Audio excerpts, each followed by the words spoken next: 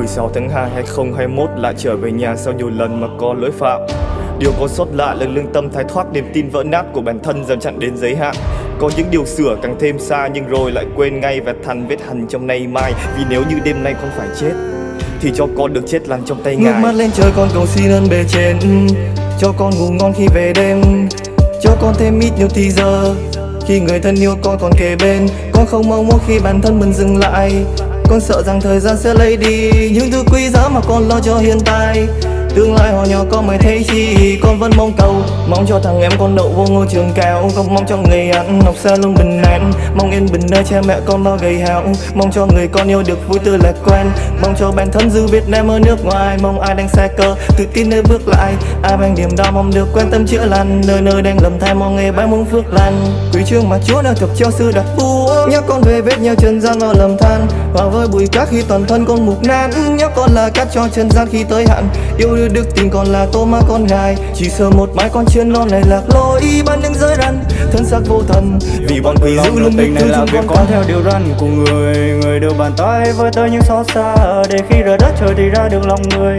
Tàn khốc là sự buồn đau mà họ đưa chúng con về. Giật mình lại là người từng chung mất vai kề Một giấc mơ một màng lời ngài từng nói với con. Họ quên lãng con Thì con người chờ ngày mà con biết quay về. Thưa cha, con xưng tội với cha từ lần cuối cùng cách đây đã được một năm và hai tháng. Con cũng đã nhận biết được những việc sai trái, những sai lầm của con và loài người này đang làm.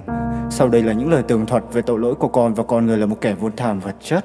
Nên con sẽ nói ra những thứ mà con đã làm và những thứ con thấy một cách chân thật nhất là lời nhận lỗi trước khi mọi thứ quá giới hạn và bàn tay không kiểm soát được hành vi, là lời thú tội trước khi còn hành động vô ý với tâm trí không biết mình đang làm gì, là sự thiếu sót của một quá trình kỳ suy nghĩ không hoàn chỉnh để mãi đến lúc hành hình hay lăng mạ, lúc bất kính mới giật mình và thức tỉnh khi sự tỉnh không công minh có không đủ dài đường của nhằm mặt đã độc cả nhận với những sai lầm ở thế sau. Đã dẫm đẹp lên đường mòn như là con, không còn quá trẻ về tự hiểu việc họ làm là lăng mạ lên người khác để kết tội họ bằng trời.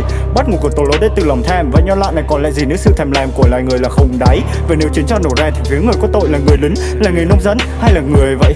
Họ đổ lỗi lầm cho người khi nhà cửa hàng tràn mất. Họ chỉ kêu tên người trong cơn rè nè nhất họ còn nhớ họ luôn trung thành cùng người, như một tông đồ mà nhận lấy ba lần mười mọi sự đau đớn từ tinh thần đến thể xác, xây dựng đền thờ trong ba ngày từ đống đổ nát và tất cả màu dấu lại. Người để lại trên có đời này là để chứng minh là người chúng ta chẳng thể khác một thực thể ác.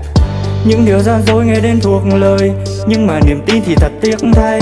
Con đang cố sống thật nhiều cuộc đời, Thêm nhiều lựa chọn trong một kiếp này. Bỏ lại nước mắt rồi dòng máu để bên trong. Tôn rơi từ bên ông cho người khác tin.